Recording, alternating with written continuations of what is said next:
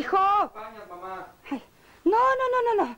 Con que vaya tu padre es suficiente. Ya me contarás. Y date prisa, hijo, que te está esperando en la sala. A ver. Mamá, estás disgustada con él, ¿verdad? Uy, es que tu padre siempre hace las cosas sin pensar.